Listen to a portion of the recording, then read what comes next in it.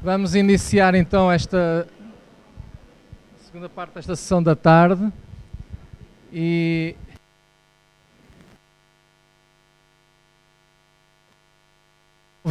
tá. É com honra e satisfação que o próximo orador, eh, não só pelo prazer que tenho de pessoalmente, mas também por admirar a sua carreira académica e que é na área da Química Teórica e Computacional.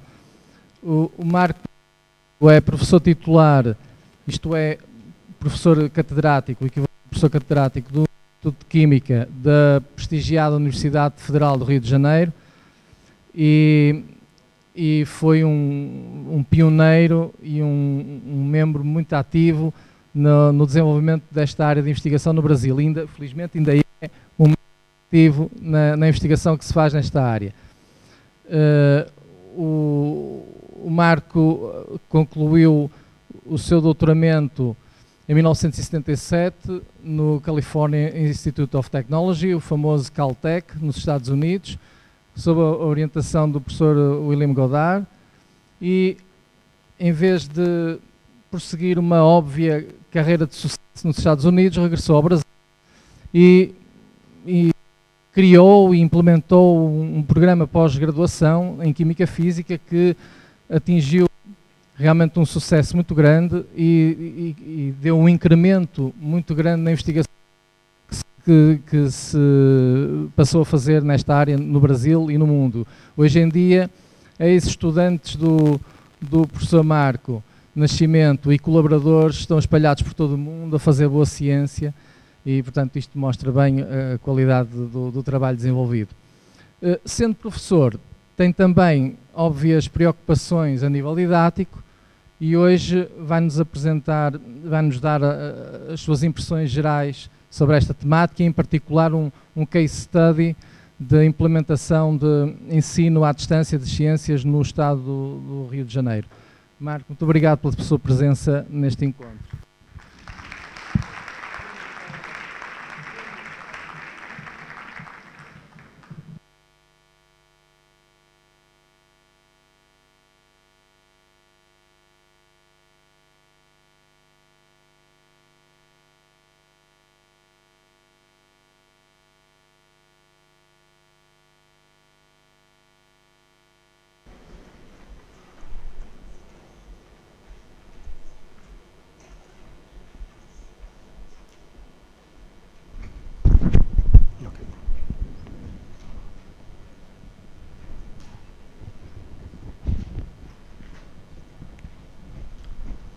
Bom, boa tarde a todos. Eu queria inicialmente agradecer à Casa das Ciências pelo esse convite extremamente amável, que me dá a oportunidade de voltar aqui ao Porto, uh, onde eu tenho grandes amigos, e, bom, e voltar a Portugal também, uh, mas especialmente ao Porto, onde eu tenho um especial carinho. Uh, eu gostaria de dizer que tudo que eu assisti até agora nesse encontro foi extremamente interessante e estou realmente extremamente satisfeito por essa oportunidade que foi me dada, não só de vir aqui falar para vocês de um pouco da nossa experiência, mas também de ver uh, o trabalho que a Casa de Ciência vem desenvolvendo em prol da ciência aqui em Portugal. Bom, eu hoje vou falar um pouquinho sobre uh, esse consórcio CEDERJ e vou uh, exemplificar o funcionamento desse consórcio CEDERJ uh, com o curso de Química, do qual eu sou coordenador, licenciatura em Química. É? Na verdade, eu gostaria de começar fazendo um breve, uma breve retrospectiva histórica, porque, na verdade, como nós falamos em ensino à distância, uh, nós pensamos que é algo que um pouco bastante atual, mas, na verdade, se nós uh, olharmos a história de como é que essa coisa evoluiu, uh, a ideia de se fazer um curso não presencial é antiga né? em diferentes moldes, mas bem mais antiga que a gente possa imaginar, ou pelo menos que eu imaginava.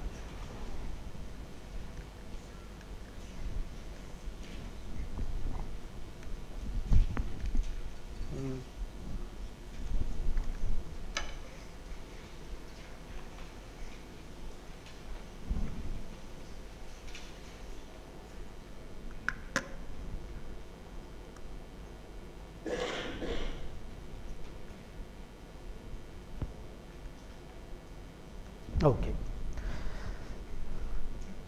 Na verdade, primeiro a gente chamava por ensino por correspondência. Né? Então, se vocês olharem essa data aqui, é 1728, é a primeira vez que alguém oferece curso por correspondência. Né? Aqui o professor Caleb Phillips né? oferece material para ensino e tutoria por correspondência. Nós estamos em 1728. E essa ideia de transmitir conhecimento né, de forma não presencial né, já começa a aparecer. E isso evoluiu rapidamente. Chegamos aqui, por exemplo, em 1890, 1894, já temos aqui a Alemanha eh, e vários outros países eh, oferecendo algum tipo de ensino, naquela época ainda chamada por correspondência. No Brasil, nós já utilizamos o que hoje nós chamamos de ensino à distância há algum tempo. Né? Na verdade, né, nós começamos em 1904, quando o Jornal do Brasil né, anunciou cursos profissionaliza de profissionalizantes por correspondência para datilógrafos. Então, isso é desde 1904. Em 1923 e 1934, nós tivemos dois grandes marcos no país, que foi a criação de programas por rádio né, que procuravam uh, dar algum tipo de uh, formação, seja de português, francês, literatura francesa, esperanto. Né? Uh, em 1934, uh, Roquete Pinto criou então uma rádio municipal no Rio de Janeiro, que é hoje inclusive famosa, Rádio Roquete Pinto, que ainda tem programas, veicula programas de, de cunho educacional, uh, e começou a dar aulas né, através do rádio. Em 1948 temos também uma outra ação muito interessante, que é agora da, da Diocese de Natal do Rio Grande do Norte, né? que procurava então, através de, da, da Conferência Nacional de Bispos do Brasil, em, em correspondência com o governo federal, uh, tentar ensinar jovens né, que na, ali na região do Nordeste uh, havia um grande índice de analfabetismo. Né? Então, essa ideia de usar alguma forma de ensinar que não seja presencial está presente já nas nossas vidas há muito tempo de diferentes maneiras, de diferentes formas, mas uh, usando tecnologias disponíveis à época, desde o correio ao rádio e, mais recentemente, a televisão. E o Brasil, nessa área, foi até bem pioneiro, porque teve uma importante contribuição da televisão uh, para esse processo. Em 1964, já se criavam reservas de canais em VHF e UHF para TV educativa.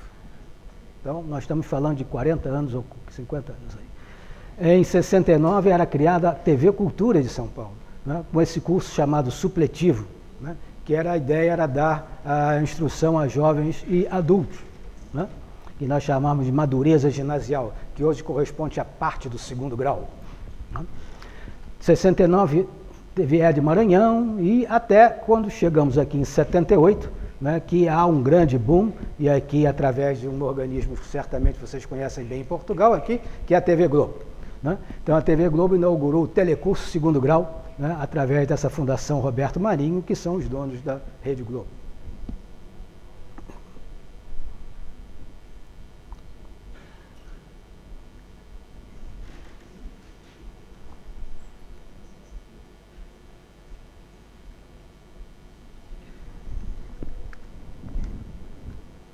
Que eu vou passar manualmente mesmo.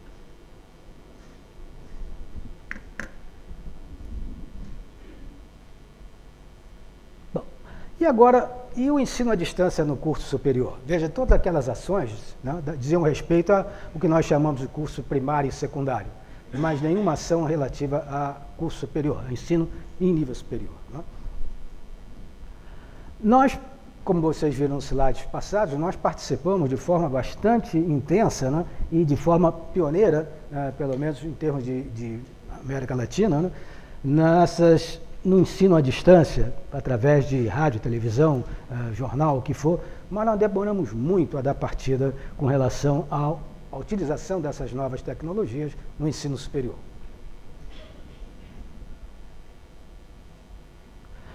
Primeiro boom de EAD no mundo começou com a Open University, né, na universidade, Universidade Aberta, em 1971.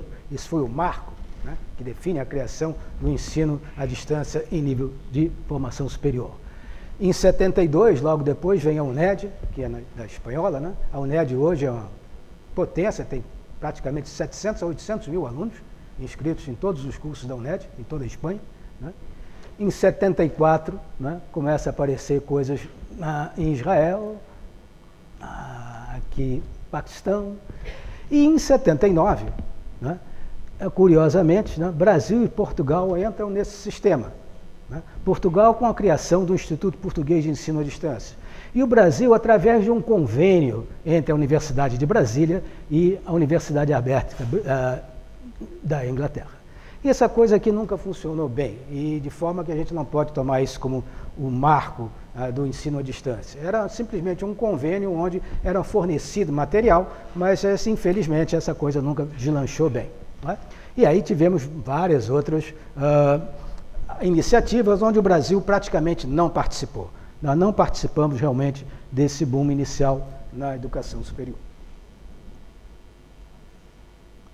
E isso se segue aí até que em, mil, em 1999 e 2000 né, surge então uh, o CEDERJ.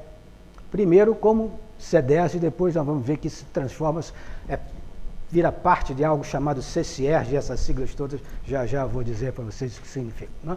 CEDERJ é o Centro de Educação à Distância do Estado do Rio de Janeiro. Isso foi criado em 2000 e eu vou explicar exatamente o que levou né, à criação desse, desse, desse consórcio. Né. Depois virou CCIERS, né, que é a Fundação Centro de Ciências de Educação Superior à Distância do Estado do Rio de Janeiro. Né. E nós começamos em 2000 de forma bastante tímida, nós tínhamos 300 alunos. Hoje nós temos para mais de 110 mil num sistema integrado também com o ensino, eh, do ensino fundamental e básico. Em 2005, o governo federal, isso é uma iniciativa do Estado do Rio de Janeiro, é uma iniciativa do Estado do Rio de Janeiro. Né? Em, mil, em 2005, o governo federal, sentindo a importância desse processo e o sucesso, pelo menos relativo até aquela época, né, desse consórcio, resolveu entrar né, de cabeça no programa e criou a Universidade Aberta do Brasil tentando simplesmente replicar essa experiência do Estado do Rio de Janeiro para todo o país, né? dando suporte uh, financeiro, uh, apoio material, coisas desse tipo. Né? Então, hoje nós temos a Universidade do Brasil, né, que tenta uh, criar esses cursos e regular esses cursos em nível nacional.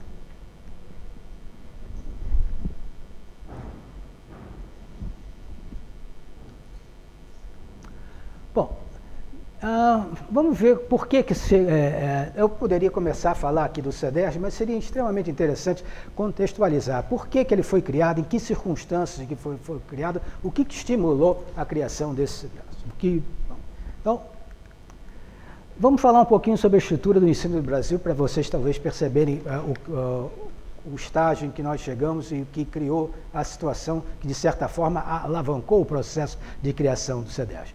E nós temos o nosso ensino dividido em três grandes grupos: fundamental, ciclo fundamental, técnico profissional, que é também considerado ensino médio, e o ensino superior. O fundamental é dividido no curso primário e secundário, também chamados primeiro e segundo grau. Nós usamos essa terminologia de forma indistinta. É? Ah, e o secundário também é chamado de ensino médio, às vezes. E o técnico profissional também faz parte desse conjunto, de, desse ciclo de ensino médio. E temos o ensino superior, né, que é também chamado de terceiro grau. Né? Essa é a estrutura de ensino do Brasil. E a quem compete né, a fazer esse ensino? Né? No nível fundamental, primário e secundário, nós temos diferentes atribuições. Por exemplo, o ensino primário cabe aos municípios, é de responsabilidade dos municípios. Ah, mas nas capitais dos estados, né, nós temos também a presença do Estado. Então, o ensino a, a, pode existir, nem sempre, né, mas pode existir na capital do Estado uma rede né, de escolas eh, que tra trabalham nessa área de ensino primário, tanto municipal quanto estadual.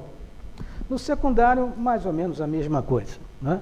Ah, o Estado toma conta do ensino secundário, mas no, nas capitais do estado nós podemos encontrar tanto rede municipal como estadual para o ensino secundário. Aqui eu coloquei duas, duas coisinhas aqui só para me lembrar de que uh, os estados mais abastados, né, como Rio, São Paulo, Minas, também mantêm ensino secundário em alguns municípios. Nem todos, mas em alguns municípios.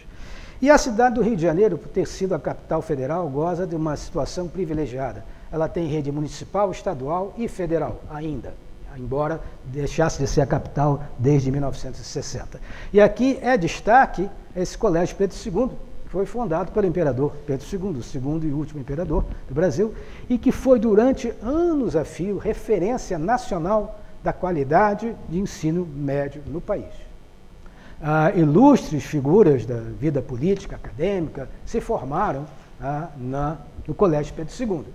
E se aquela época de a fundação do Colégio Pedro II no Rio, isso agora é a minha avaliação, isso, essa ideia fosse colocada também nas demais capitais do país, eu acho que nós teríamos um quadro hoje de ensino no país bem diverso do que nós encontramos quando começamos esse, esse consórcio CDES.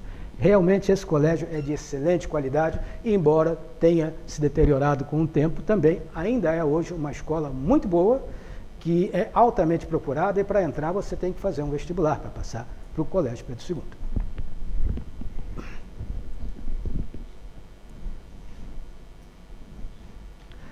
mais um pouquinho de atribuição. Ah, sim, e o superior.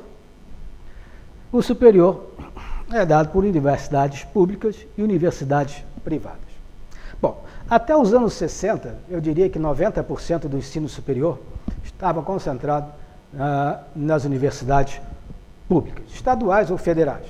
Se bem que estaduais, poucos estados possuíam, naquela época, universidades, ah, só Rio e São Paulo, talvez, uh, nos, até os anos 60. Dos anos 60 em frente, houve assim um boom tremendo de universidades privadas. E aqui colocamos um problema sério. Né? Há uma questão aqui sobre a qualidade do ensino dessas universidades privadas. Via de regra, é muito ruim.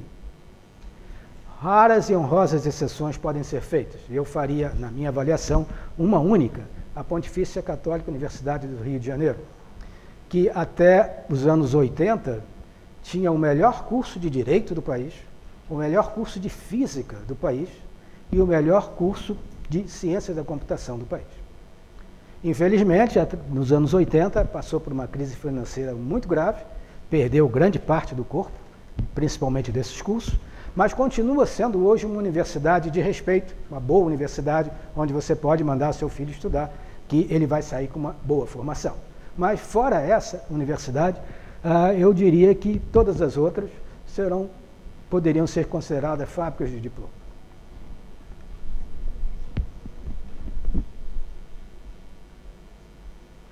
A regulamentação do ensino. Existe uma lei básica, né, federal, que é chamada Lei de Diretrizes Bases, que regula, né, por exemplo, define o conteúdo programático para cada curso nos diferentes graus também define a duração desses cursos, mas não define o sistema de aprovação. Isso fica a critério de estados definir. Então aí nós temos um sistema de avaliação que é altamente heterogêneo. Pode ter de tudo. Estados que decidem que não há nenhum sistema de avaliação, você pode simplesmente aprovar o aluno no final do ano e ponto final, e há outros que são extremamente rigorosos no, nos critérios de avaliação e de promoção ao curso superior. Então isso já cria um grau de heterogeneidade imenso, né, por falta de uma definição do sistema de aprovação. É claro que essa lei regula a, a, o sistema de aprovação nas instituições federais, claro, mas nas municipais e estaduais não. É a cargo de cada estado fazê-lo.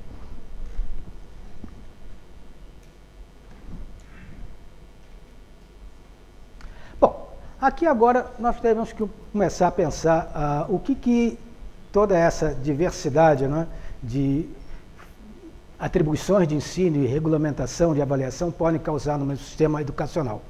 O que foge, grande parte das vezes, né, à percepção dos políticos e daqueles que são direto, dire, é, diretamente relacionados com a educação no país, é que a educação tem que ser vista de uma forma integrada. É um ciclo que retroalimentado e que não adianta você atuar numa área e na outra. Você tem que atuar conjuntamente em todas as áreas, dando a elas todas as condições necessárias para o seu desenvolvimento. Se você não fizer isso, você não tem, jamais terá um ciclo educacional de boa qualidade. E por quê? Porque é um sistema retroalimentado. Você começa né, no primário, que vai fornecer alunos para o secundário, que vai fornecer alunos para o curso superior, que vai fornecer professores para o primário e para o secundário. E se você destrói, ou se você ah, interrompe a qualidade do processo em qualquer um desses níveis, você destrói todo o sistema educacional. E é isso que nós vimos constantemente acontecendo no país durante muitos anos. Né?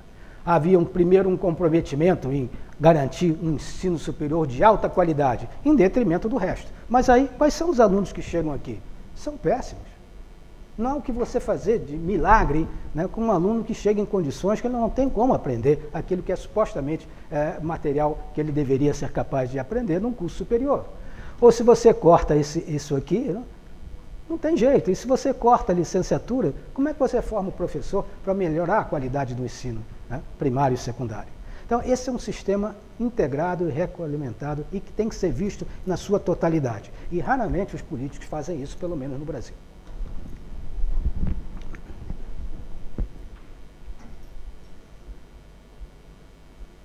E só para dar ideia de descompassos né, no, no, sistema de financiamento da educação, veja só, existem esforços isolados, federais ou estaduais. Né? Por exemplo, né, foi feito uh, um grande esforço para o acesso ao ensino primário. Nós vimos várias iniciativas, desde lá de rádios educativas e programas supletivos, a televisão entrando, né? mas não foi acompanhado de nenhuma ação no, no círculo secundário. Então você melhorava a qualidade do ensino primário, mas o sujeito entrava no segundo no secundário e não tinha nada. Era muito ruim. Né? Então não havia também nenhuma preocupação em manter o sistema né, funcionando de forma equilibrada. Nos anos 60, Houve um investimento fantástico na infraestrutura para pesquisa e pós-graduação nas universidades federais do país. Em algumas boas estaduais também, como a USP, São Paulo e Unicamp. Entretanto, não houve nenhuma contrapartida para o ensino fundamental médio. Ou seja, você melhora a qualidade, as, as condições de trabalho para a universidade, mas coloca lá um aluno com as mesmas deficiências que tinha anteriormente. Não vai funcionar. E pior ainda, a própria, a próprio governo federal não aumentou, não ampliou, embora tenha feito esse investimento enorme nas universidades, não, não ampliou o, o, os seus orçamentos para atender o crescente número de alunos. Então aumentava o número de alunos e os orçamentos eram os mesmos, as condições de trabalho eram as mesmas, o número de professores o mesmo. Então esses descompassos né, criaram um, um monstro em, em termos de sistema educacional. Onde é que está o gargalo? As pessoas começavam, não, vamos melhorar o ensino primário. Sim, mas se você não melhorar o secundário também, não funciona. E essa forma de olhar globalmente o problema não existia até pouco tempo. Ou não se queria, não, não se tinha vontade política de assim fazer. Então, os grandes desafios para o, FR, para o, para o Estado do Rio de Janeiro foi olhar, tentar olhar esse sistema de forma global tentar investir simultaneamente e de forma balanceada em todos esses três níveis de formação uh, de educação. É?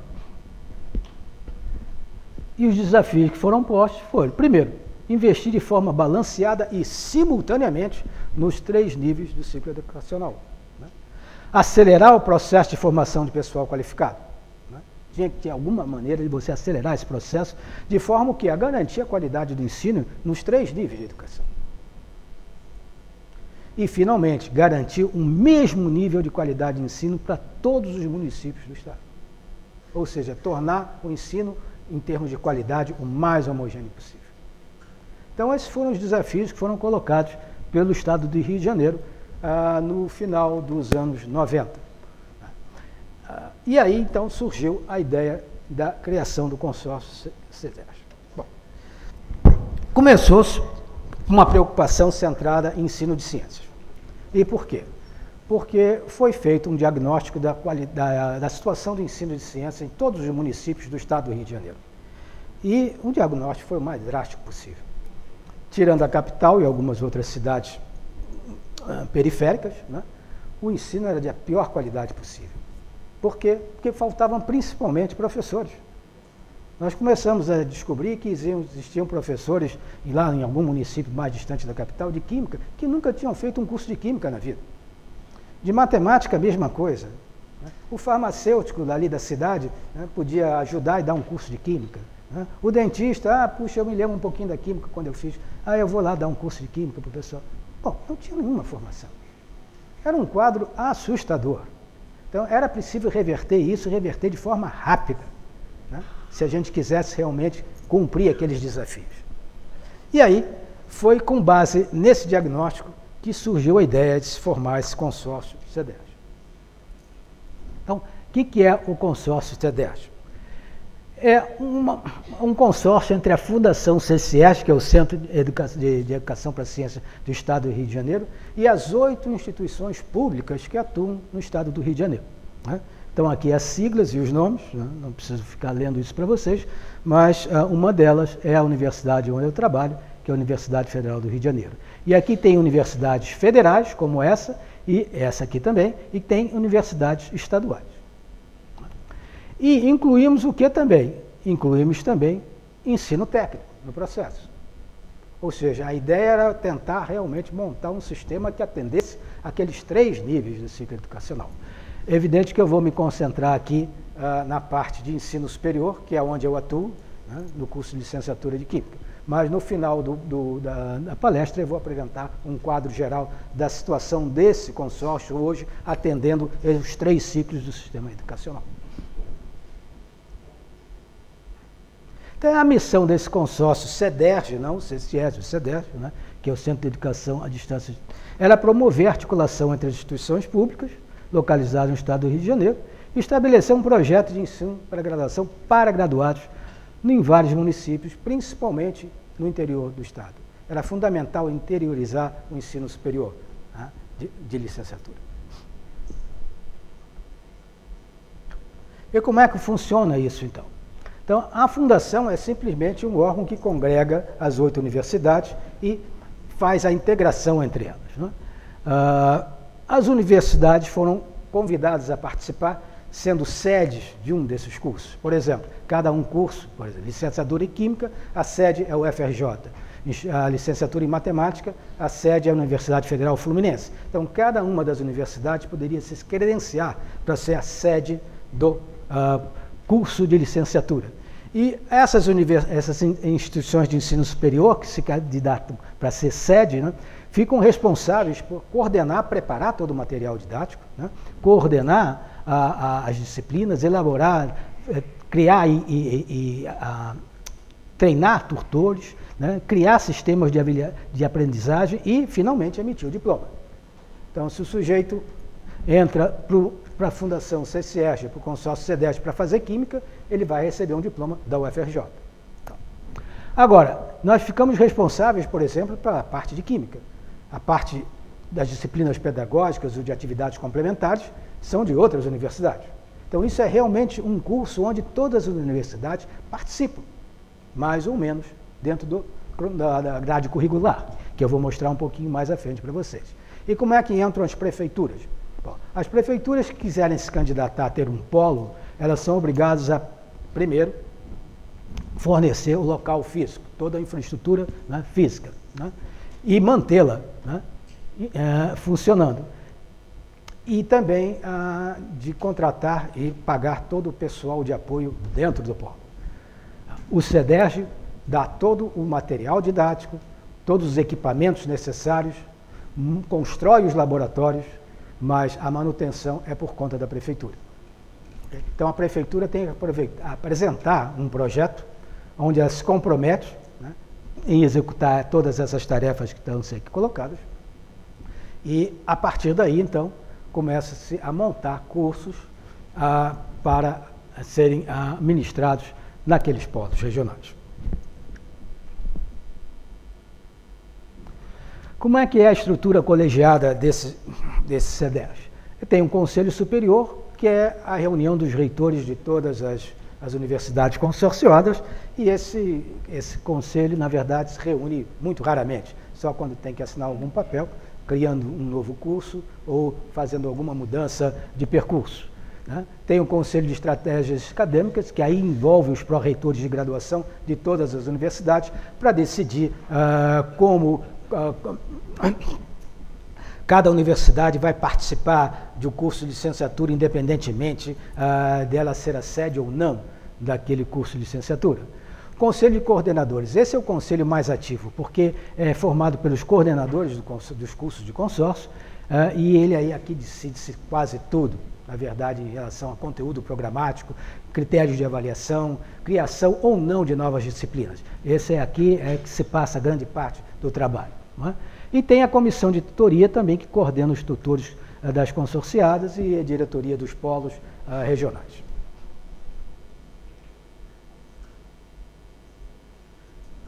A estrutura acadêmica, cada, cada curso tem um coordenador.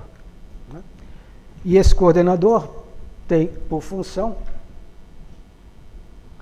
acompanhar o curso, ele acompanha o curso, ele integra e articula docentes relacionados com aquele curso e também, de certa forma, mais à distância, acompanha os alunos. Cada disciplina do curso tem um seu próprio coordenador, que tem agora como tarefas planejar e acompanhar a disciplina, ele elabora e corrige avaliações, capacita e orienta tentor, tutores e acompanha também, agora mais proximamente, os alunos. E além disso, cada coordenador de disciplina tem à sua disposição um conjunto, de, um tutor à distância, né, que fica na instituição sede, né, que é tutor daquela disciplina, e um conjunto de tutores ah, presenciais que ficam no polo. Em cada polo nós temos um tutor coordenador para a área de Química, por exemplo, e vários tutores, cada um para cada uma das disciplinas do curso de Química.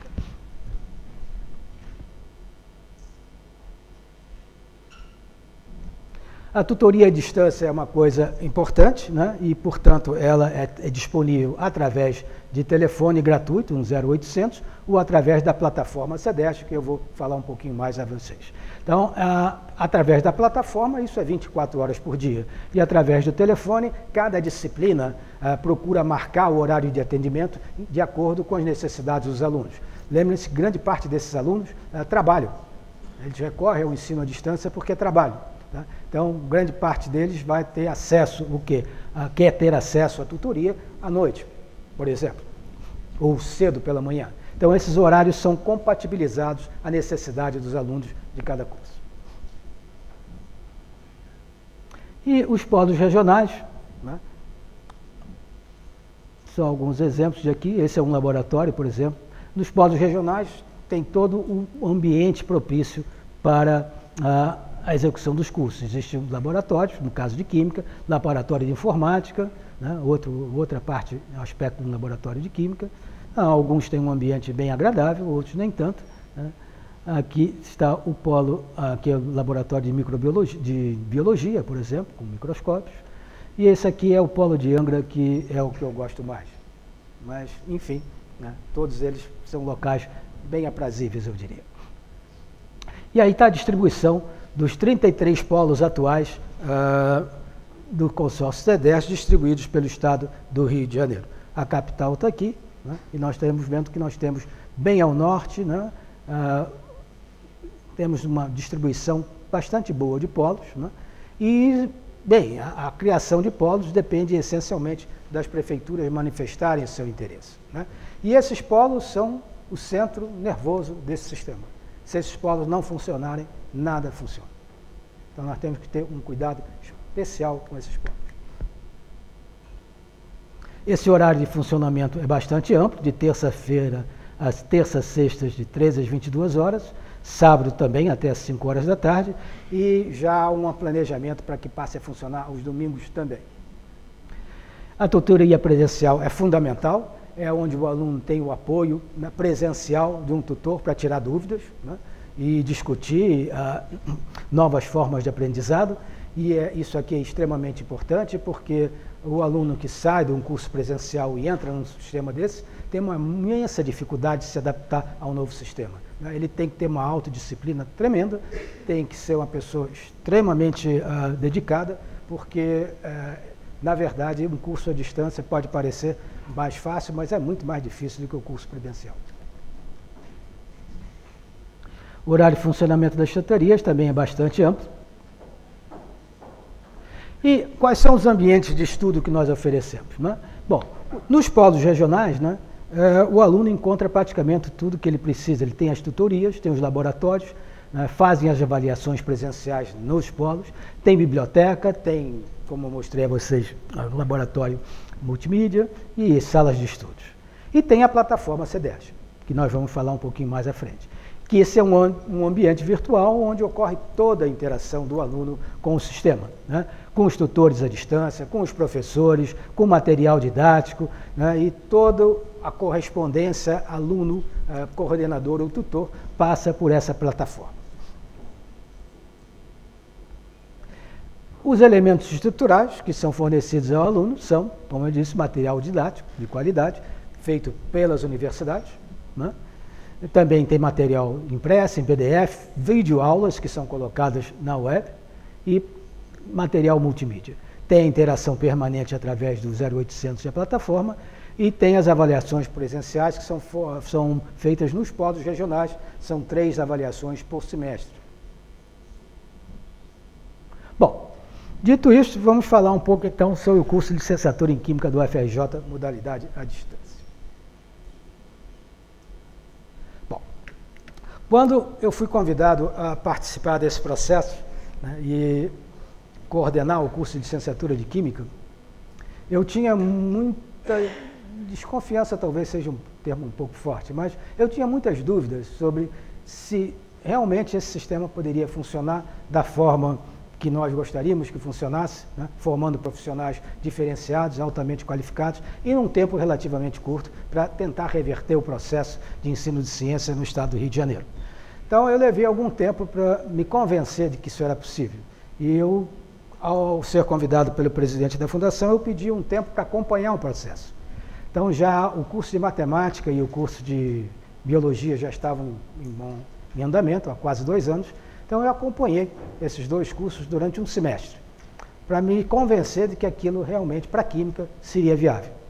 E ao me convencer que era viável, eu assumi o compromisso, então, de coordenar esse curso. Mas aí coloquei umas tantas uh, condições. Uh, que, e todas elas foram imediatamente aceitas. Né? Mas os desafios, era, o objetivo era formar um profissional de ensino, de ensino médio diferenciado. Né? Porque montar toda uma estrutura para formar o mesmo tipo de profissional que é formado nos cursos de licenciatura regulares, não havia razão nenhuma para fazer isso. Não? Existem vários cursos de licenciatura no estado do Rio de Janeiro, em várias universidades, e não tinha por que criar o mesmo tipo de profissional. Tinha que ser alguma coisa, um profissional diferenciado. Diferenciado de que forma? Primeiro, com uma visão integrada e moderna da química. Diferenciado de que forma? Capaz de perceber como a química se relaciona com todas as demais matérias, todas as demais áreas do conhecimento científico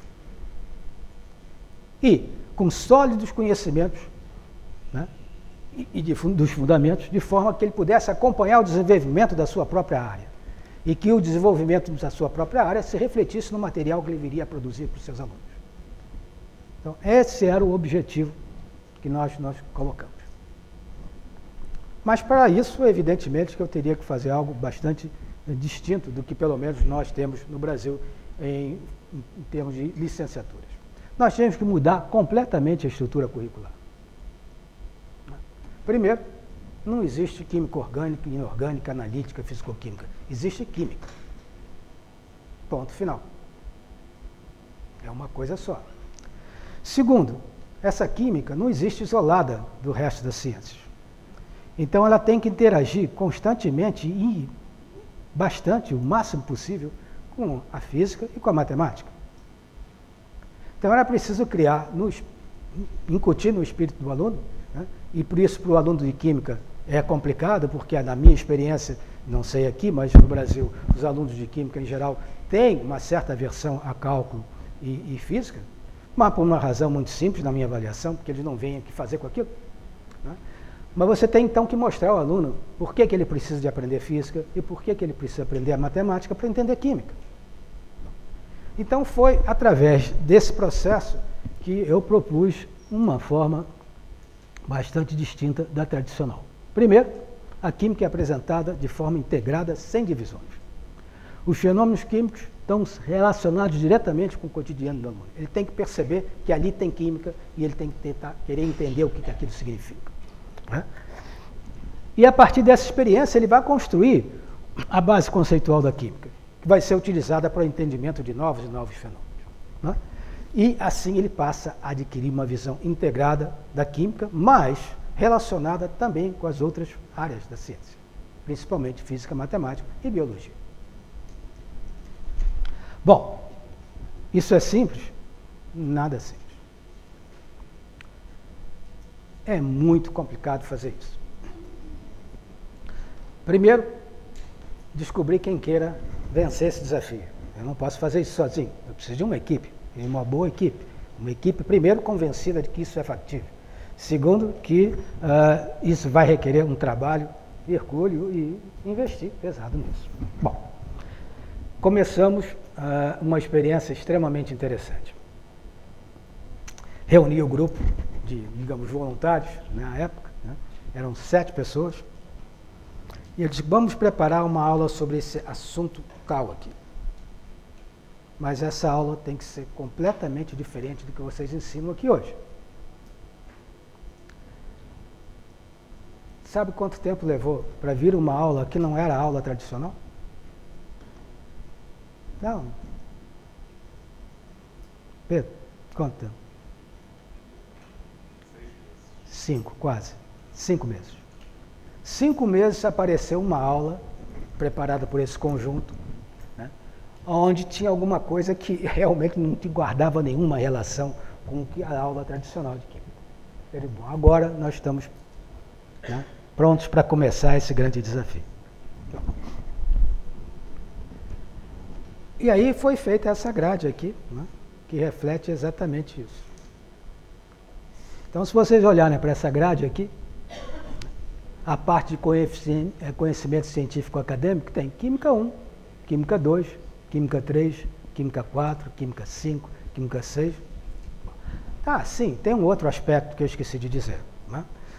A primeira disciplina de Química 1 que foi montada, e que eu montei como exemplo para o resto do grupo, lá tinha toda a cálculo e a matemática, cálculo e a física necessária para entender os fenômenos químicos relacionados a essa disciplina Química 1.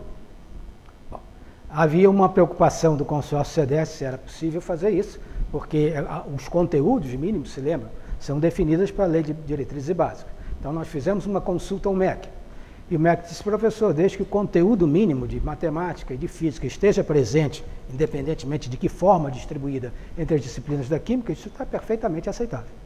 Não há problema nenhum. Então nós fizemos uma disciplina Química 1, onde toda química, toda física e toda matemática estavam lá.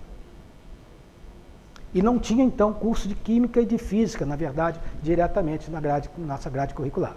Existiam links para o curso de física e links para o curso de matemática, caso o aluno quisesse aprender mais né, matemática e mais física relacionada àquele tópico. Bom, mas aí nós tivemos um, um problema operacional. Lembre-se da estrutura. Eu tenho um coordenador de disciplina, né? o coordenador de disciplina tem o tutor coordenador do curso no cada polo, e cada disciplina tem o seu tutor presencial. Se cada disciplina de química contivesse toda a parte de física e de, e de cálculo também, para cada coordenador eu precisaria, para cada disciplina eu precisaria ter três coordenadores presenciais, um para responder física, química e matemática, e nos polos também. Então, o presidente um dia me chamou e disse, olha, você estourou meu orçamento. Se eu fizer isso, eu vou fechar o consórcio CEDES, porque eu não posso, para cada disciplina sua, dar três tutores presenciais e para cada disciplina de cada polo, dar três tutores presenciais. Eu estou triplicando o orçamento do curso de Química. Né? Eu acho a ideia muito boa ideia, mas não tem dinheiro para pagar isso aí. Bom, então nós voltamos né, para o tra tradicional e fizemos a química, deixamos lá o cálculo. Só que as chamadas continuaram. Por quê? Porque é fundamental que o aluno de química perceba que ele está aprendendo aquilo ali, de matemática e de física, porque está relacionado com algum fenômeno químico importante. Nós enxugamos, evidentemente, mas deixamos né, as indicações todas lá do que, da importância que ele tem, que tem a parte matemática e de física para o entendimento de fenômenos químicos. A química não está isolada no universo dessas coisas todas. Aliás, se nós pensarmos bem nessa divisão de o que é física, o que é biologia, o que é matemática, o que é. Bom, matemática talvez, mas uh, física. A natureza não sabe o que é química, o que é física. Nós é que demos essas designações. Os fenômenos naturais estão ocorrendo. E se nós queremos entendê-los e interagir com a natureza, nós temos que usar todo o conhecimento que nós temos, independente do rótulo que nós colocamos, física, química, biologia. Né? Nós temos é que ser capazes de integrar todo esse conhecimento para interagir com a natureza. Então nós voltamos ao, ao, tradicional, que tem toda a química, tem o cálculo, etc. Mas, de qualquer maneira, em todas as disciplinas de química tem lá restícios, digamos, da, de cálculo e de física necessários, pelo menos para dar partida e ele entender a necessidade de estudar um pouco mais de matemática. É claro que na parte pedagógica tem os fundamentos da educação, e isso agora já compete a uma outra universidade, né? então é um consórcio também por conta disso, e cada, cada, várias universidades participam de todos os cursos. Né? Então, aqui, por exemplo, na parte de enriquecimento uh, curricular, tem atividades complementares, inglês instrumental, português instrumental, informática, isso já é dado por uma outra universidade. Né? A prática e ensino também, já é toda essa parte entra a, a estágio supervisionado, tudo isso não nos diz respeito mais. A UFRJ, ou a minha ação, se dá aqui, nessa parte, conhecimento científico acadêmico. Aqui Todas essas disciplinas são elaboradas por outras universidades que fazem parte do consórcio CEDES. E são únicas para todos os cursos. Até que nós chegamos aqui no projeto final de curso, no nono período. No projeto final de curso, o aluno vai escolher um tema qualquer para fazer uma monografia. Ele tem quatro meses para fazer isso, o tema de livre escolha dele, e ele pode escolher um dos coordenadores das 11 disciplinas de Química para assessorá-lo nessa tarefa.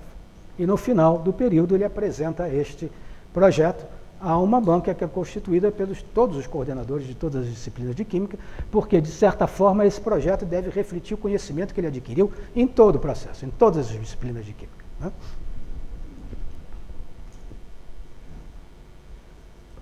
Bom, mas nós estimulamos também os alunos a, a fazerem outras coisas além da, daquela grade curricular. Nós estimulamos monitorias, estágios, a iniciação científica, vários desses alunos fazem iniciação científica em alguma das universidades, uh, apresentar trabalhos em, em jornadas de iniciação científica, participar de congressos, tudo isso é estimulado e conta crédito tá, para o total do número de créditos que o aluno precisa para se graduar.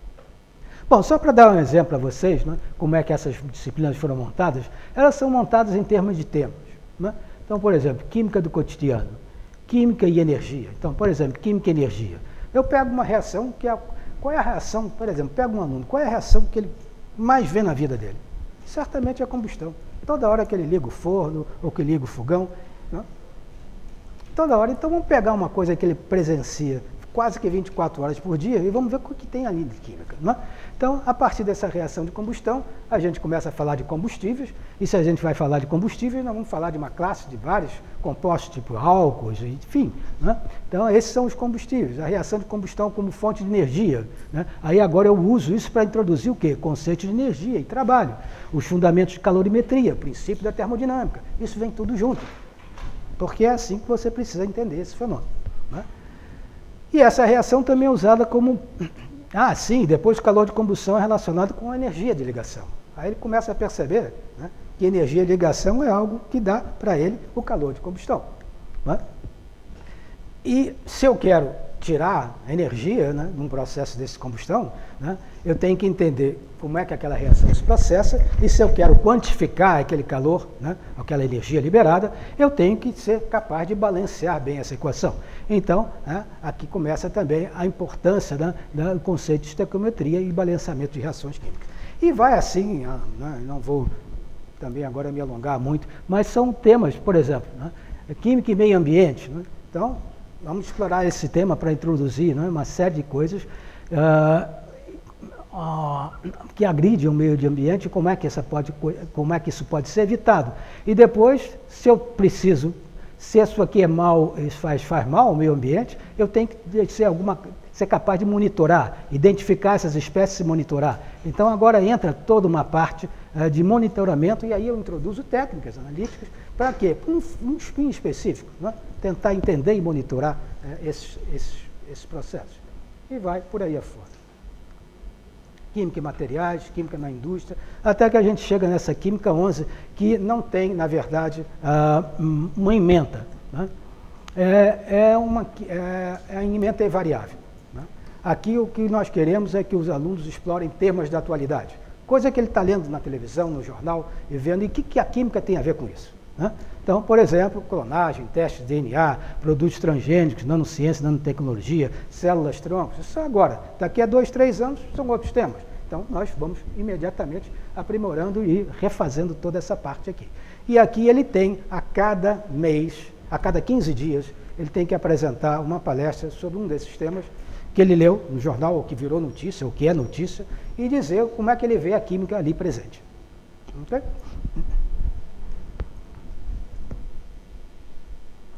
Bom, agora, evidentemente que o instrumento de ensino é a plataforma CEDERJ. Então, a plataforma CEDERJ é baseada na plataforma Moodle. Nós tínhamos uma, começamos a construir, passamos alguns anos construindo uma plataforma própria, mas não funcionou bem. Então, nós abandonamos essa ideia e passamos a, pegar, a usar algo que já está muito bem estabelecido, que é a Moodle. Né? E aqui, então, nós temos toda a forma de interação entre o aluno e os tutores e os professores. Ele entra com a senha dele, de usuário, e aí a partir daí ele está dentro da plataforma. E essa plataforma dá a ele informações acadêmicas, eu posso fazer acompanhamento de alunos, ele lê notícias, ele tem os horários da tutoria de cada disciplina, ah, sistemas ajuda, navegação, administração, enfim. Ele tem tudo aí. Isso é o ambiente principal. Mas depois cada. Bom, aqui no acompanhamento de alunos, ele abre, ele pode ver o calendário, todas essas informações estão disponíveis para ele lá. E, uma, e material impresso.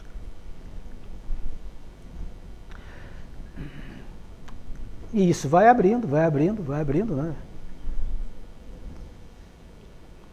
Sistemas complementares, etc.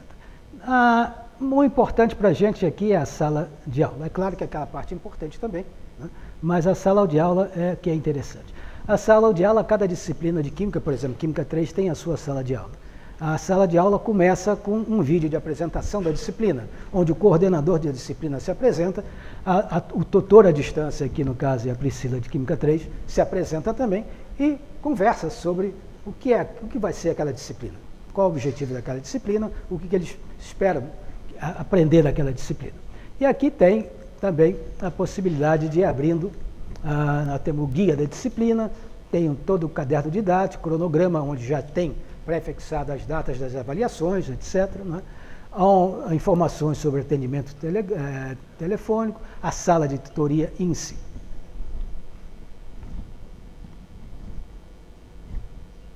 E ali ele encontra também todas as aulas, né? todas as aulas daquela disciplina. E ali está lá a aula 1. As aulas têm o material impresso e tem uma série de vídeos embutidos. Ok? Tá, ele leu esse material, tem vídeos que auxiliam a compreensão de alguma coisa relativa àquela aula. A, a, o tutor pode acrescentar, e isso é sempre feito, cada vez, uma vez por semana, o tutor acrescenta alguma coisa, um material adicional, né, e os tópicos antigos ficam mantidos, e acrescentam-se novas uh, atividades. Né? E tem várias ferramentas, né? atividades, chats, fóruns, recursos. Bom, então é bastante vasta aí, uh, essa sala de aula. E também tem a sala de tutoria. Né?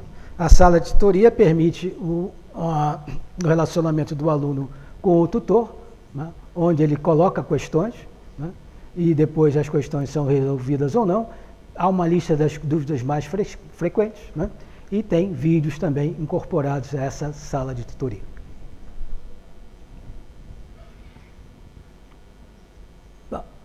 E, finalmente, né, de tempos em tempos, é feita uma conferência, né, um audiovisual. Então, existe também uma sala de conferência, onde um dos coordenadores ou um professor convidado expõe sobre um determinado tema e isso está aberto a todos os alunos daquela disciplina. Então, essa é a estrutura do curso de licenciatura em Química uh, do consórcio C10. Bom, o que é hoje o consórcio C10? Bom, eu falei sobre a parte de ensino à distância para a formação de licenciados. Ou seja, nós estamos atuando, eu atuo no terceiro grau, no, no universitário.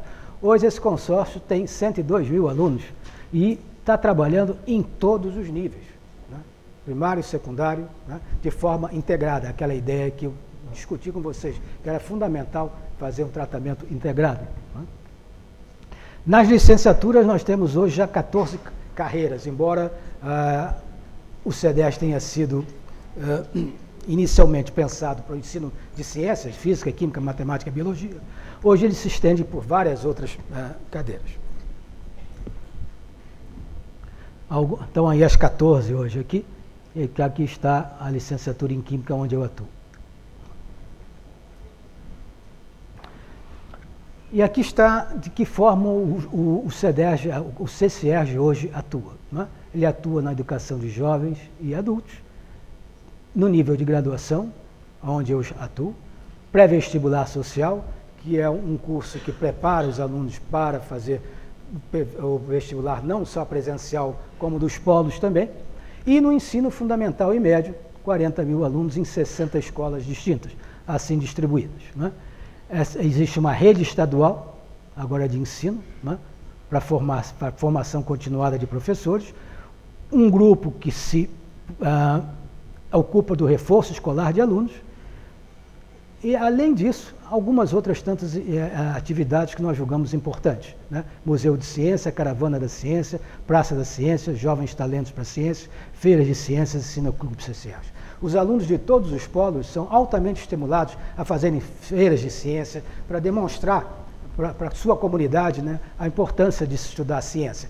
E isso é fundamental, porque quando a comunidade sente a importância da presença do polo naquele município, ela briga pela manutenção, ela briga pela melhoria e ela faz parte do processo de, de uh, consolidar aquele polo. É? Então é fundamental a, a, participação da comunidade também. E isso é feito pelos alunos, através de feiras de ciência, nos polos, nas praças públicas. Né? Há uma Semana da Ciência, onde eles vão para as praças da cidade né? demonstrar, fazer demonstrações de física, de química, de biologia, né? para mostrar à comunidade a importância daquele polo, né? a presença daquele polo para a comunidade. E eu acho que aqui eu termino a minha apresentação e agradeço muito a atenção de todos vocês.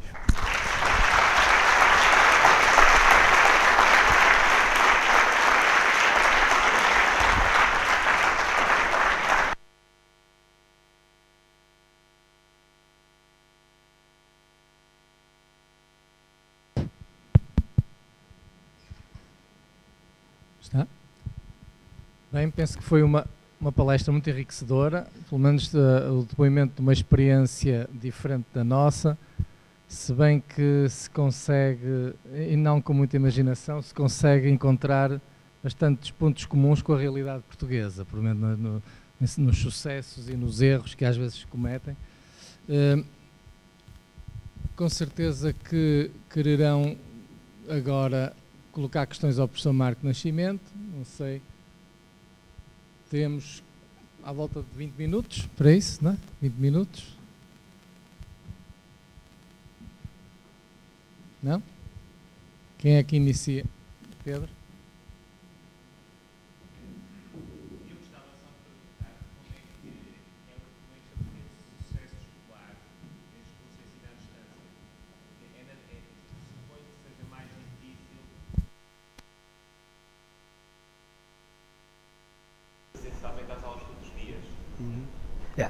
Uh, esse é um bom ponto.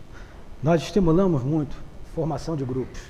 Né? esse, o ensino à distância é algo você, muito isolado, você se sente muito isolado. Né? Então é fundamental que ele compareça ao polo com uma grande frequência. Então nós estimulamos o comparecimento ao polo e a criação de grupos, ah, até mesmo através da plataforma, né? ah, fazendo chats, mas com grupos. Né? Ah, isso, ah, essa experiência tem sido interessante. E os alunos que melhor desempenho apresentam são aqueles que trabalham em grupos.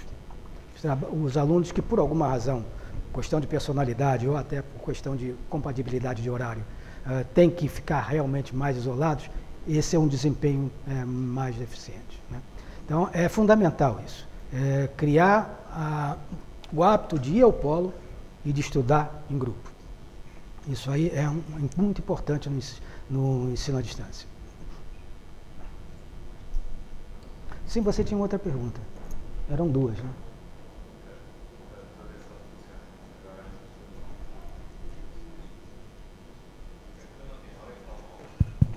Este já, já agora começa mais uma segunda pergunta que é o currículo do vosso curso realmente é diferente de qualquer um que eu tenha visto.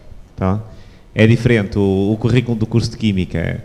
E basicamente eu, eu perguntava-lhe como é que se compara os conhecimentos que o aluno obtém seguindo o currículo do curso que mostrou aqui, com os currículos mais tradicional que nós usamos nas universidades presenciais? Bom, veja só, lembre-se daquela lei lá que eu falei, de, né, que regulamenta o conteúdo. Então, o conteúdo do curso, no final, tem que ter o mesmo conteúdo do curso presencial. Né? Isso por lei. Mínimo. Mas é claro que nós podemos adicionar algumas coisas mais. Então, ah, isso ali está presente. Né? Não há nada que você aprenda no curso presencial que não vai aprender de conteúdo, né? que não vai estar presente. Melhor refrasear. Não há nada que esteja presente no conteúdo do curso presencial que não esteja presente no nosso curso. Ok? Bom, mas só que a forma de apresentar é diferente e nós temos, na verdade, um conteúdo maior. Né? Nós vamos além do que o curso eh, normalmente presencial tem. Então, nós estamos além do mínimo é, pela lei de direitos e bases. Portanto, no fundo, é, é, a diferença está mais na forma como se ensina e não naquilo que se ensina. Sim, Sim. mas em alguma coisa também daquilo que se ensina. Que é muito mais fácil né, introduzir novas coisas né, nesse curso que no curso uh, presencial. Tá? Eu tenho uma liberdade muito maior de fazer alguma coisa de diferente nesse curso do que eu teria na Eu jamais seria capaz, eu jamais me seria permitido montar esse curso na minha universidade. Colocando assim. Na nossa também, penso que aconteceria o mesmo. Mas você sabe de uma coisa, que vários dos tutores à distância são alunos de pós-graduação, alguns da, do Instituto de Química, da, da UFRJ. E eles falam para os alunos do presencial, né, a experiência. E os alunos agora querem esse curso, né? mas aí é um problema. Temos um problema político seríssimo a vencer.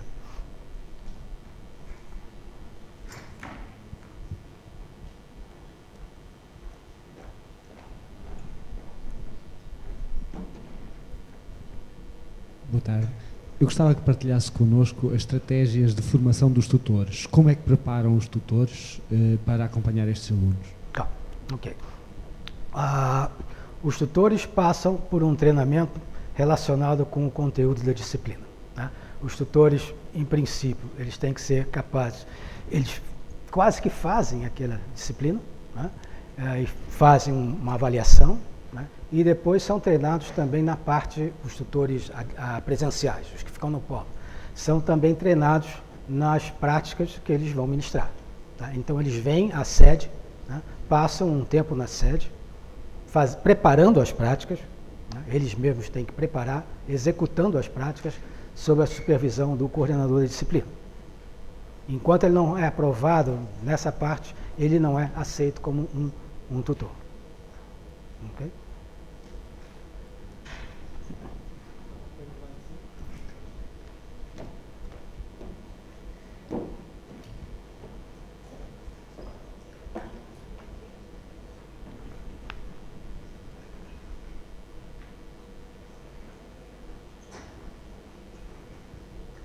Tarde. Uh, eu sou um bocadinho cética em relação ao ensino à distância e pareceu-me que inicialmente também estava cético. O, qual foi o ponto principal que desfez esse ceticismo e o fez uh, acreditar neste projeto? Veja, uh, eu tinha muita dificuldade de uh, aceitar que o aluno que passa grande parte da vida dele, ou até aquele momento, né, num curso presencial, né, fosse capaz de subitamente vencer os obstáculos todos né, que uh, o curso à distância oferece. E, em particular, para o curso de Química, porque o curso de Química, além de o curso à distância, além das, inerentes dificuldades de um curso à distância, ainda tem a dificuldade adicional de ser um curso completamente distinto do tradicional. Né? Então, eu tinha sérias dúvidas sobre a capacidade do aluno em, em poder acompanhar. E foi por isso que eu quis exatamente fazer isso, acompanhar. Acompanhei durante um semestre os alunos de Física e de, e de, de Biologia, uh, dos cursos de Física e Biologia. Eu ia, eu, eu ia aos polos, eu acompanhava as aulas, eu conversava com os alunos e cheguei à conclusão que no final havia uma chance para o curso de Química. Uh, é importante também dizer o seguinte, que grande parte dos alunos que procuram uh, o curso à distância na verdade, não estão interessados em licenciar. Ah, eles estão, em princípio, ah, buscando ampliar o seu mercado de trabalho, porque eles são químicos formados, já temos químicos formados, né? mas que não encontram trabalho, então pensam que, obviamente, fazer um curso de licenciatura química, já sendo químico, vai ser tranquilo. Né? Então, a primeira coisa que ele faz, ele passa no vestibular, claro, ele tem uma formação de químico, ele passa no vestibular e pede dispensa de todas as disciplinas de química, de cálculo, de física, já que ele fez um curso superior, né? e acha que agora ele vai fazer as disciplinas pedagógicas e ponto final. Então, eu consistentemente nego todas as disciplinas, assim como o pessoal da física e às vezes da matemática também. Aí eles reclamam. Eu digo, tá bom. Então eu vou fazer o seguinte, eu vou te dar uma prova que eu dou para os alunos. Se você passar nessa prova, está tá dispensado. E aí é que vem o problema ele não consegue perceber o que está sendo pedido. A estrutura que ele tem de química na cabeça não permite a ele mais 5 graus para cada lado. E ele não passa. É incrível isso, não? O sujeito é formado em química. Mas ele não vai encontrar lá na questão, ah, faça a reação tal, equilibre a reação tal. Vai fazer isso. Não vai encontrar essa questão. E, isso aí é um, um, um, dos pontos grandes de evasão. O pessoal entra achando que é uma coisa muito simples, tá? afinal ele é químico, e não é tão simples assim. Então, ah, na verdade, ah, o meu ceticismo também era em função do que eu estava pensando em fazer. Tá? E isso é importante deixar claro para você. Não só o sistema em si, mas eu, como eu conseguiria fazer isso nesse sistema. Tá? Mas, por enquanto, eu devo dizer a você que eu estou imensamente surpreso. Nós fazemos avaliações anuais com os alunos de todas as disciplinas. Uma vez por ano, ah, o CEDES promove uma reunião em algum hotel da região serrana do Rio de Janeiro. Nós temos várias cidades serranas a uma hora de distância. Então a gente vai para lá e fica. Durante o final de semana, elege um tema e discute esse negócio todo. Né? E na parte de avaliação, o que eu ouço invariavelmente dos alunos de Química é o seguinte, professor, é muito difícil, mas a gente está gostando muito.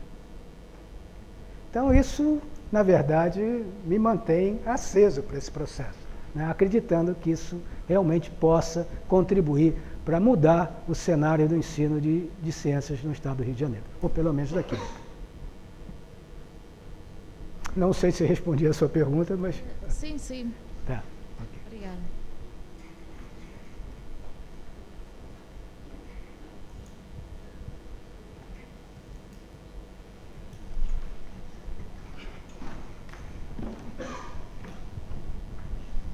Viva. Uh, eu vou fazer uma, vou para uma questão de outra natureza, porque neste momento, sei, está-se ouvindo, está? está? Ah, pronto. Que colocou uma questão de tudo isto tem que ser um sistema integrado, incluindo o primário e o secundário. e a necessidade de uma visão que vá para além daquela particularidade de cada município. Foi isto que colocou também, em termos de qualidade. Sim. Sim. Eu digo isto porquê? Porque neste momento, embora de uma forma ainda, direi, primeira e incipiente, começámos aqui a fazer um caminho em termos de decisões que envolvem a devolução de uma forma que ainda também está a discutir, da nossa educação a cada município, no primário e secundário, chamamos assim no equivalente. E eh, diríamos que, então, cada município era a unidade reguladora. O que eu pressupus é que o Estado é uma, do Rio de Janeiro, neste caso concreto, não é? Uhum. Viu-se na necessidade de ter uma, um controle de qualidade e regulação global do sistema para todo o Estado. Sim. Não um somatório de municípios e das decisões de cada município. Pronto. Porque esta questão, tu, eu não vinha à espera, honestamente, de ouvir uma, essa conferência, eu, o resto fiquei também uh, curioso por todo o processo de desenvolvimento do novo currículo, mas preocupa-me a necessidade de manter uh, essa qualidade de facto, uh, que se percebe que, o, no caso do Rio de Janeiro, o fez refletir sobre a qualidade da alimentação do processo todo até ao superior, não é? que não era garantido por uma atomização, digamos, cada um faz como quer, decide a qualidade dos professores como quer, atribui o serviço como quer e entende o desenvolvimento do currículo como quer, sem uma unidade mais vasta de um Estado. Que aqui, digamos, que aqui em Portugal seria uma região, imaginemos, no Norte ou parte do Norte, e não propriamente do município A, que é uma coisa pequenina, não é? Em termos relativos, o B e o C, cada um a fazer como entende, e depois, seja o que Deus quiser, que devemos regular isso mais tarde na universidade.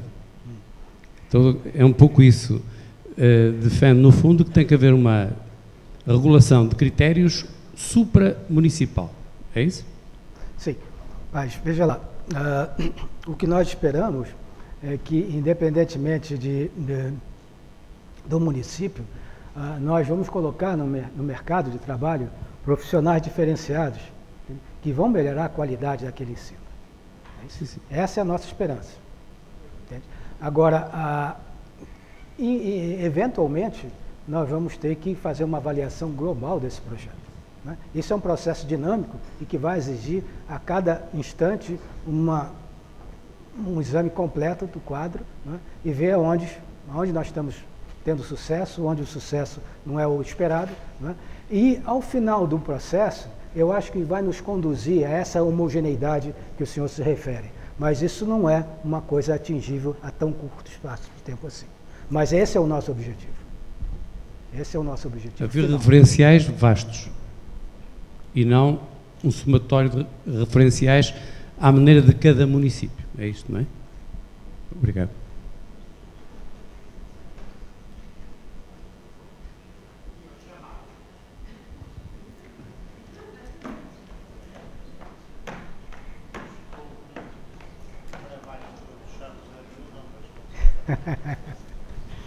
Olha, evidentemente que o ensino à distância tem razão de ser, possivelmente porque poderá chegar.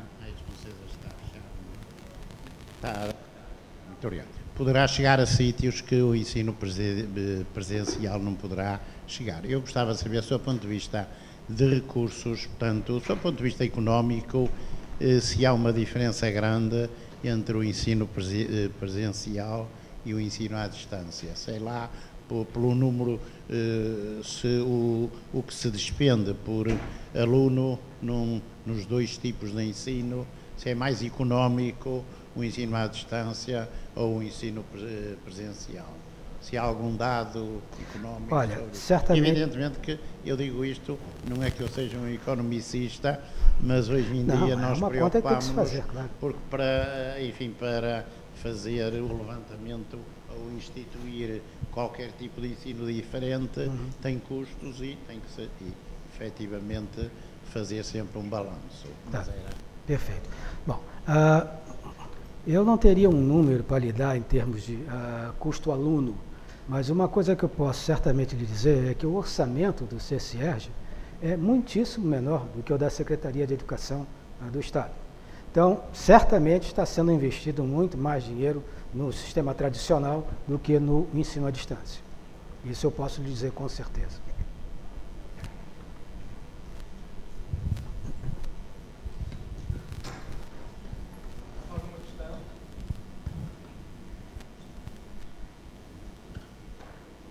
Nós estamos à distância aqui, mas não tão longe. Né?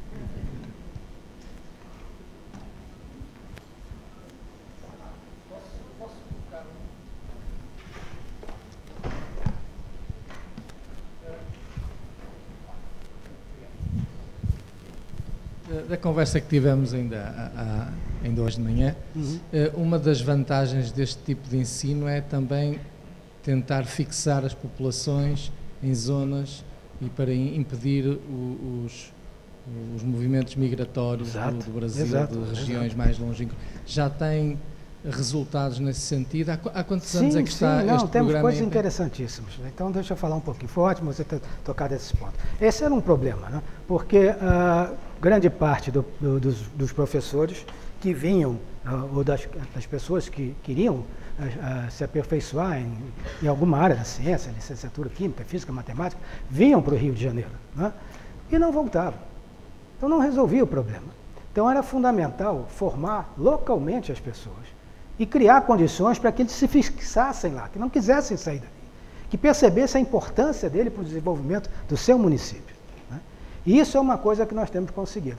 Uh, é curioso que eu tinha outra, voltando lá à, questão do ceticismo, outra coisa que eu tinha uma maior preocupação é onde é que eu vou arrumar esses tutores? Né? Porque ninguém vai querer sair do Rio de Janeiro para ir. Bom, para Angra Reis até iriam, mas para ir para Itaporana não vai. Né? Bom, ah, tinha que ter gente local. Né? E eu achava que eu não ia descobrir ninguém. Olha, o entusiasmo das pessoas, a avidez com que elas queriam aprender, vinham, treinavam, faziam curso de treinamento de tutoria e voltam, estão lá satisfeitos, felizes da vida, e muitos fizeram daquilo a sua vida. Entende? Então é, é, surpreendente isso, né? surpreendente isso. Então, ah, então a questão da, da fixação é fundamental, porque senão não adianta nada. Se você traz todo mundo para a capital, você não resolve o problema do interior. Então tem que fixar. E, e, aí você tem que ter esse comprometimento da prefeitura e da comunidade. E aí é que eu digo que o centro nevrálgico desse processo todo é o polo. Se o polo não funciona, nada funciona. E para o polo funcionar, as pessoas que estão lá dentro têm que estar vestindo a camisa, vendo a importância, trabalhando com afinco, com dedicação e com vontade de fazer aquilo funcionar e contaminando a comunidade, a sua comunidade, né? através de feiras de ciência. Ah, deixa eu contar um caso interessante em Angra, você falou disso. Uh, um belo dia eu chego em Angra dos Reis e tinha o, o secretário municipal do meio ambiente querendo falar comigo. Eu disse, não, por favor. O senhor anda incutindo ideias estranhas nos alunos aqui polo. Ele disse, mas como ideias estranhas? Bom, era a química e o meio ambiente que estava funcionando. Né? Os alunos começaram a cobrar das autoridades coisas que eles deviam fazer e não faziam. Veja lá? Como é que essa coisa passa a funcionar. Esse aluno hoje, sabe o que, que ele tem? Abriu uma empresa de consultoria para tratar de problemas de meio ambiente. Ele não foi para a área da química, não é professor de química. Não importa. Criamos um cidadão consciente da importância do controle do meio ambiental e que está sendo extremamente útil para a sua comunidade. Então, tem todas essas facetas que aparecem no meio do caminho, que às vezes você não forma o professor, mas forma um cidadão consciente, isso é extremamente importante também.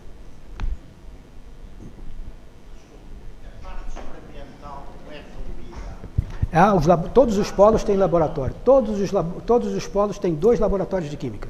Muito bem equipados. Muito bem equipados. Estamos agora, inclusive, concorrendo com uma proposta para a compra de equipamentos. Eu espero que eu ganhe. é, para modernizar ainda mais os polos de química. E isso é o Estado também que oferece. Mais alguma questão?